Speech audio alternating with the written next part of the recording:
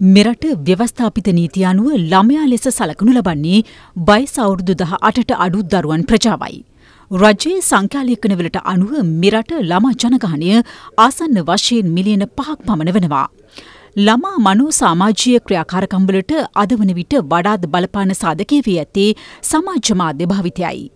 ළමුන් අතරින් සියයට හැට එකක් පමණ සමාජ මාධ්‍ය භාවිතයට යොමු වී තිබෙන බව මෑතකාලීන සමීක්ෂණ කිහිපයකින්ම පෙන්නුම් කර තිබෙනවා. විශේෂෙන්ම මව්පියන්ද සමාජ මාධ්‍ය භාවිතයට නැඹුරු වී තිබීම තවත් කැපී පෙනෙන ප්‍රවණතාවක්.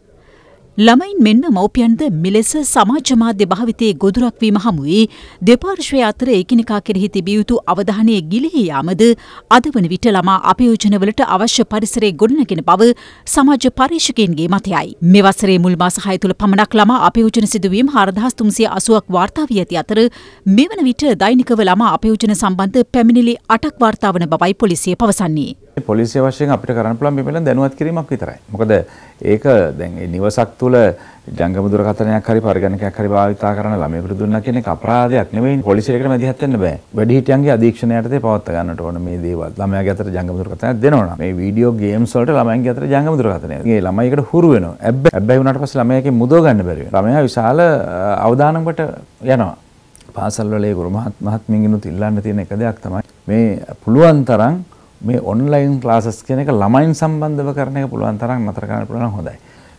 ගුරු බෞතුන් පවා අත්අඩංගුවට පත් වුණා මේ ළමයින් යම් මේ අපයෝජනයන්ට ලිංගික අතවරවලට ලක් කළා. මෙන්න මේ ආදරය ලැබුණ නැති වුණාම දෙමාපියන්ගෙන් හෝ ඥාතියින්ගෙන් ළමයා මේක හොයාගෙන එළියට යන්න ගන්න. මෙයාව දැහැගන්න ඉන්න අය ඉන්නවා. Tamanගේ නිර්වත් ඡායාරූප පෙම්වතා හරහා යවලා එතකොට ඒ හරහා දූෂණයට ලක් වෙනවා. මේ ළමයින් එතකොට වසඟ කරනවා.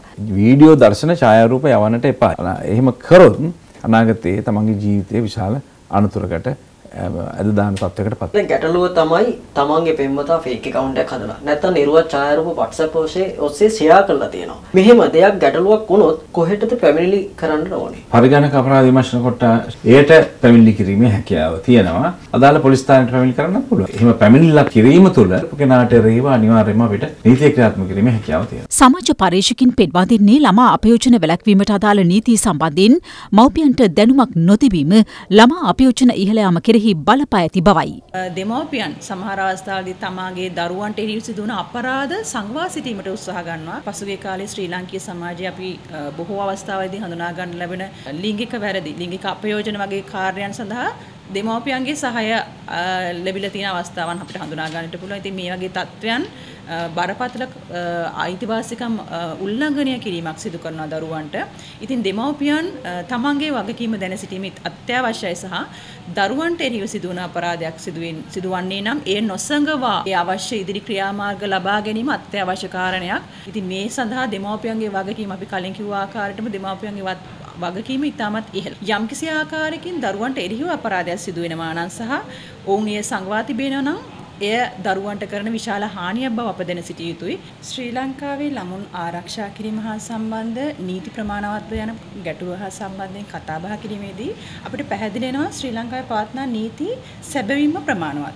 නමුත් මේ නීති රීති හා සම්බන්ධයෙන් දරුවන්ගේ මෙන්ම දෙමව්පියන්ගේ තිබෙනා වූ අඩු දැනුම් මට්ටම මේ අපරාධවලට ගොදුරු වීමට ඉහළ ප්‍රවණතාවයක් තියෙනවා.